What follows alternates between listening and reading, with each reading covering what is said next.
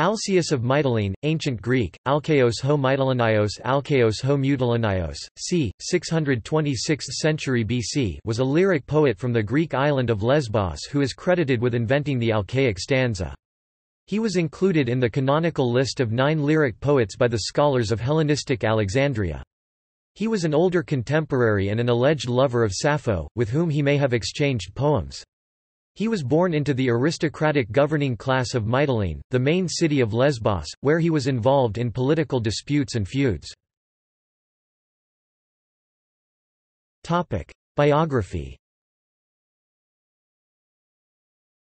The broad outlines of the poet's life are well known. He was born into the aristocratic, warrior class that dominated Mytilene, the strongest city-state on the island of Lesbos and, by the end of the 7th century BC, the most influential of all the North Aegean Greek cities, with a strong navy and colonies securing its trade routes in the Hellespont. The city had long been ruled by kings born to the Penthilid clan but, during the poet's life, the Penthilids were a spent force and rival aristocrats and their factions contended with each other for supreme power. Alcaeus and his older brothers were passionately involved in the struggle but experienced little success. Their political adventures can be understood in terms of three tyrants who came and went in succession. Melanchros, he was overthrown sometime between 612 BC and 609 BC by a faction that, in addition to the brothers of Alcaeus, included Pittacus later renowned as one of the seven sages of Greece. Alcaeus at that time was too young to be actively involved, Myrsilus, it is not known when he came to power but some verses by Alcaeus Frag. 129 indicate that the poet, his brothers and Pittacus made plans to overthrow him and that Pittacus subsequently betrayed them. Alcaeus and his brothers fled into exile where the poet later wrote a drinking song in celebration of the news of the tyrant's death Frag. 332 Pittacus, the dominant political figure of his time, he was voted supreme power by the political assembly of Mytilene and appears to have governed well 590 to 580 BC, even allowing Alcaeus and his faction to return home in peace. Sometime before 600 BC, Mytilene fought Athens for control of Sigeion and Alcaeus was old enough to participate in the fighting. According to the historian Herodotus, the poet threw away his shield to make good his escape from the victorious Athenians then celebrated the occasion in a poem that he later sent to his friend, Melanippus.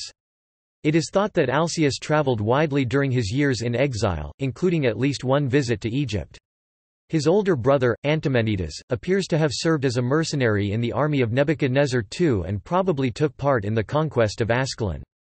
Alcaeus wrote verses in celebration of Antimenides' return, including mention of his valor in slaying the larger opponent Frag. 350, and he proudly describes the military hardware that adorned their family home Frag. 357. Alcaeus was in some respects not unlike a royalist soldier of the age of the Stuarts.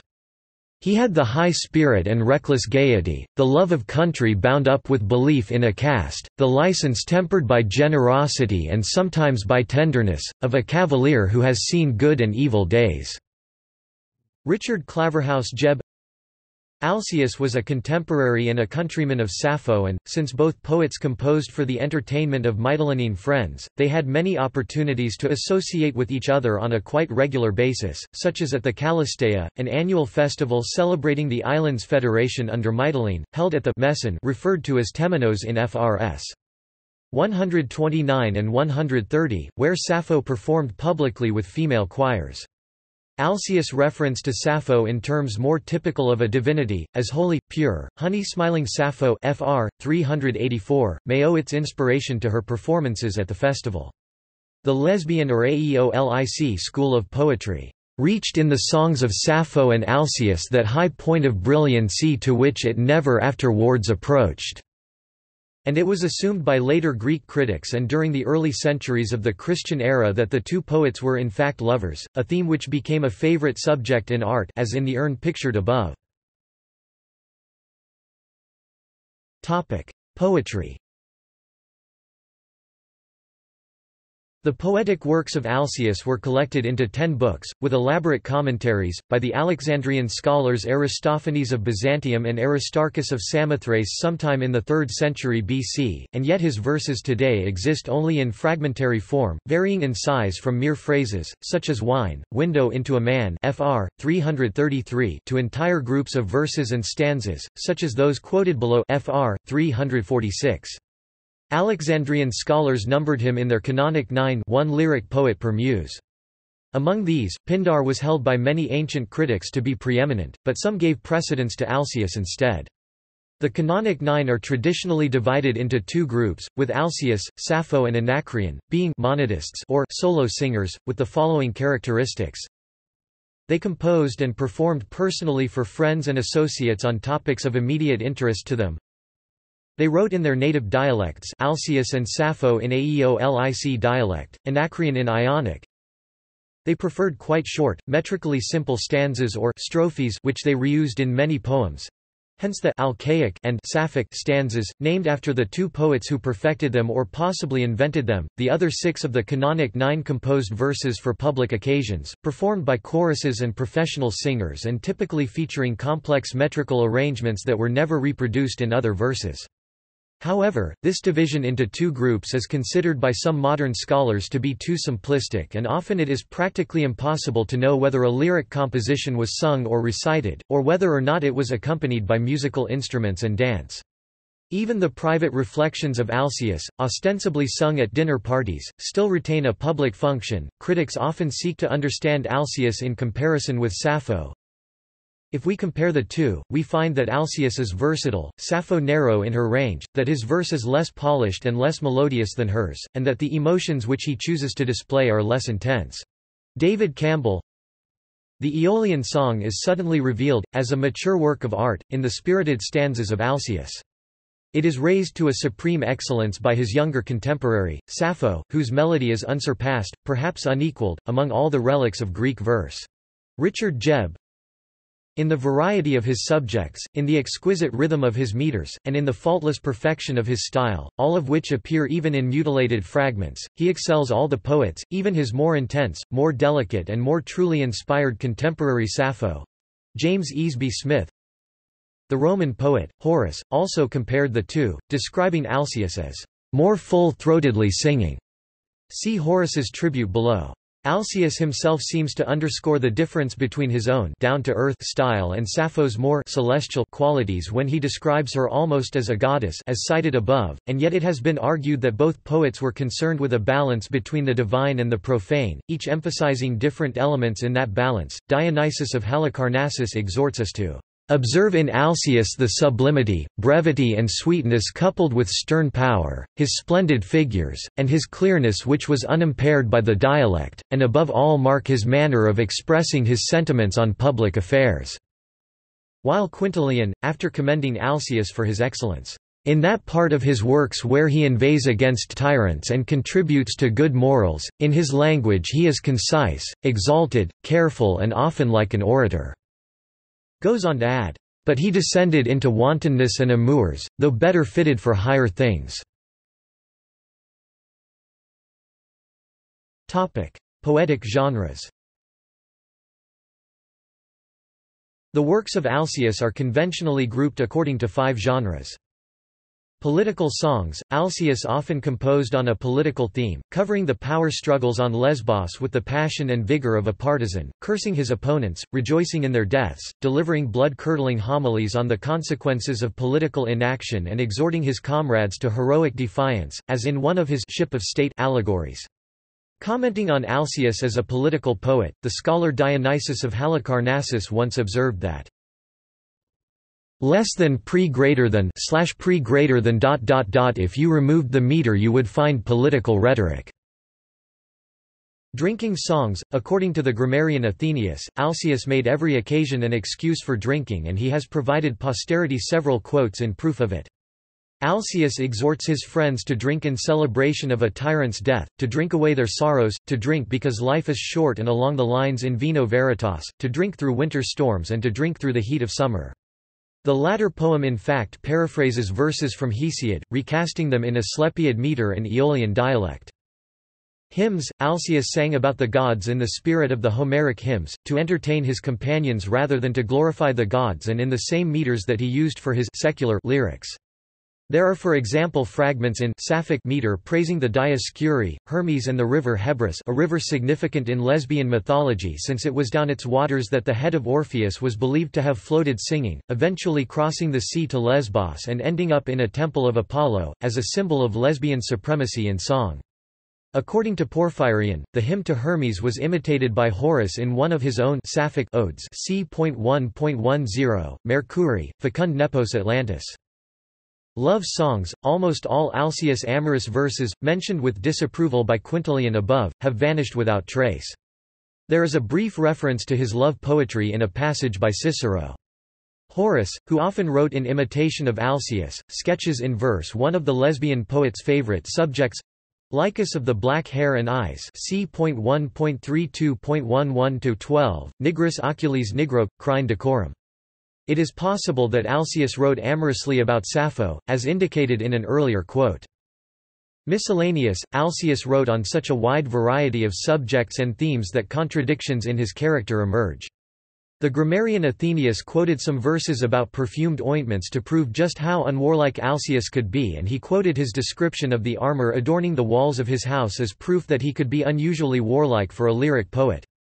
Other examples of his readiness for both warlike and unwarlike subjects are lyrics celebrating his brother's heroic exploits as a Babylonian mercenary and lyrics sung in a rare meter Sapphic Ionic in minor in the voice of a distressed girl. Wretched me, who share in all ills. Possibly imitated by Horace in an ode in the same meter c.3.12, Miserarum est necamori dare ludum nec dolci. He also wrote sapphic stanzas on Homeric themes but in unhomeric style, comparing Helen of Troy unfavorably with Thetis, the mother of Achilles. A drinking poem fr. 346. The following verses demonstrate some key characteristics of the Alcaic style square brackets indicate uncertainties in the ancient text. The Greek meter here is relatively simple, comprising the greater asclepiad, adroitly used to convey, for example, the rhythm of jostling cups a delta. The language of the poem is typically direct and concise and comprises short sentences. The first line is in fact a model of condensed meaning, comprising an exhortation, "'Let's drink, a rhetorical question' Why are we waiting for the lamps? And a justifying statement only an inch of daylight left, the meaning is clear and uncomplicated, the subject is drawn from personal experience, and there is an absence of poetic ornament, such as simile or metaphor. Like many of his poems e.g., Frs.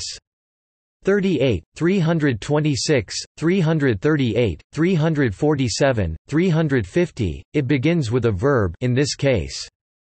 Let's drink. And it includes a proverbial expression. Only an inch of daylight left though it is possible that he coined it himself. A hymn fr. 34. Alcaeus rarely used metaphor or simile and yet he had a fondness for the allegory of the storm-tossed ship of state. The following fragment of a hymn to Castor and Polydeuces the Dioscuri is possibly another example of this though some scholars interpret it instead as a prayer for a safe voyage. The poem was written in Sapphic stanzas, a verse form popularly associated with his compatriot, Sappho, but in which he too excelled, here paraphrased in English to suggest the same rhythms.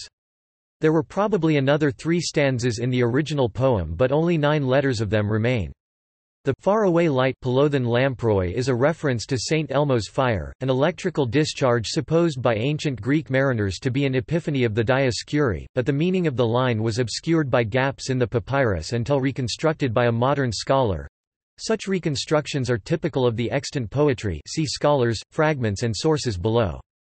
This poem doesn't begin with a verb but with an adverb but still communicates a sense of action. He probably performed his verses at drinking parties for friends and political allies—men for whom loyalty was essential, particularly in such troubled times. Tributes from other poets. Horace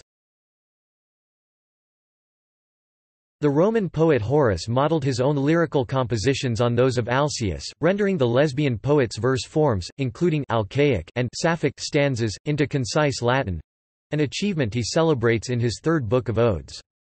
In his second book, in an ode composed in Alcaic stanzas on the subject of an almost fatal accident he had on his farm, he imagines meeting Alcaeus and Sappho in Hades. Ovid Ovid compared Alcaeus to Sappho in Letters of the Heroines, where Sappho is imagined to speak as follows. Topic. Scholars, fragments and sources The story of Alcaeus is partly the story of the scholars who rescued his work from oblivion. His verses have not come down to us through a manuscript tradition, Generations of scribes copying an author's collected works, such as delivered intact into the modern age four entire books of Pindar's odes, but haphazardly, in quotes from ancient scholars and commentators whose own works have chanced to survive, and in the tattered remnants of papyri uncovered from an ancient rubbish pile at Oxyrhynchus and other locations in Egypt, sources that modern scholars have studied and correlated exhaustively, adding little by little to the world's store of poetic fragments. Ancient scholars quoted Alcaeus in support of various arguments. Thus for example Heraclitus the allegorist quoted Fr. 326 and part of Fr. 6, about ships in a storm, in his study on Homer's use of allegory. The hymn to Hermes, Fr 308 b, was quoted by Hephaestion grammarian and both he and Libanius, the rhetorician, quoted the first two lines of Fr. 350, celebrating the return from Babylon of Alcaeus' brother. The rest of Fr. 350 was paraphrased in prose by the historian, geographer Strabo. Many fragments were supplied in quotes by Athenaeus, principally on the subject of wine drinking, but Fr. 333, "'Wine, window into a man' was quoted much later by the Byzantine grammarian, John Tzetzes. The first modern publication of Alcaeus verses appeared in a Greek and Latin edition of fragments collected from the canonic Nine Lyrical Poets by Michael Neander, published at Bâle in 1556. This was followed by another edition of the Nine Poets, collected by Henricus Stephanus and published in Paris in 1560. Fulvius Ursinus compiled a fuller collection of Alcaic fragments, including a commentary, which was published at Antwerp in 1568. The first separate edition of Alcaeus was by Christian David Jani and it was published at Halle in 1780. The next separate edition was by August Matthiae, Leipzig 1827. Some of the fragments quoted by ancient scholars were able to be integrated by scholars in the 19th century. Thus for example two separate quotes by Athenaeus were united by Theodor Bergk to form Fr. 362. Three separate sources were combined to form Fr. 350, as mentioned above, including a prose paraphrase from Strabo that first needed to be restored to its original meter, a synthesis achieved by the united efforts of Otto Hoffmann, Karl Otfried Müller and Franz Heinrich Ludolf Ahrens. The discovery of the Oxyrhynchus papyri towards the end of the 19th century dramatically increased the scope of scholarly research. In fact, eight important fragments have now been compiled from papyri FRS 9, 38a, 42, 45, 34, 129, 130 and most recently S262. These fragments typically feature lacunae or gaps that scholars fill with educated guesses, including for example a brilliant supplement by Maurice Bowra in Fr. 34, a hymn to the Dioscuri that includes a description of St. Elmo's fire in the ship's rigging. Working with only eight letters Pro ter tes tr, pro less than pre greater than slash pre greater than dot dot dot tr less than pre greater than slash pre greater than dot dot dot tes. Bohra conjured up a phrase that brilliantly develops the meaning and the euphony of the poem, proton entrechantes tr. Proton entrechantes, describing luminescence, running along the Forestays. Topic References Topic Sources Sappho et Alcaeus. Fragmenta. Eva Maria Voigt ed. Polak and Van Gennep, Amsterdam, 1971. Greek lyric poetry. D. A. Campbell ed. Bristol Classical Press, London, 1982. ISBN 978-0-86292-008-1 Greek Lyric 1, Sappho and Alcaeus. D. A. Campbell ed. Harvard University Press, Cambridge, Massachusetts, 1982. ISBN 978-0-674-99157-6 Alcée. Fragments. Gautier Liberman ed. Collection Budé, Paris, 1999. ISBN 978-2-251-00476-1 Sappho and the Greek Lyric Poets. Translated by Willis Barnstone. Schocken Books Inc., New York, 1988. ISBN 978-0-8052-0831-3 External links Works written by or about Alcaeus of Mytilene at Wikisource Works by or about Alcaeus of Mytilene at Internet Archive Works by Alcaeus of Mytilene at LibriVox public domain audiobooks Poems by Alcaeus, English translations A.M. Miller, Greek lyric, Alcaeus, many fragments Alcaeus bilingual anthology in Greek and English, side by side